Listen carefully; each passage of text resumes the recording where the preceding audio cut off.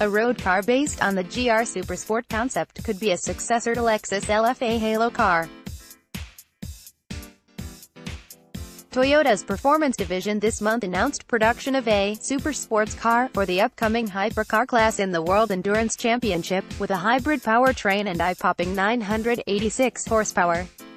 But in addition to being a race car, the production version of the GR Supersport could also be a road car, given that it will face racing versions of the McLaren P1 on the World Endurance Championship circuit. The car is expected to feature a version of the hybrid powertrain used by the TS050 hybrid that won Le Mans, a 2.4-liter biturbo V6 and a Toyota racing hybrid system. Competing in the World Endurance Championship, and racing at Le Mans, helps us to advance the development of our world-leading hybrid electric technology and enables us to transfer the knowledge we gain into our production cars, said Shigeki Tomoyama, president of Toyota's Gazoo Racing subsidiary.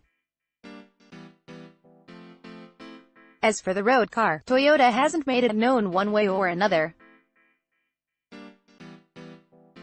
But such a vehicle could be a successor to the similarly exclusive and pricey Lexus LFA that was the brand's halo car. We started this project because we believe that creating a super sports car that delivers the same appeal as the TS050 hybrid greatly adds to Toyota's involvement in WEC, Tomoyama said. And at some point in the near future, customers will have a chance to get behind the wheel of this incredible machine and experience its astonishing power and driving performance.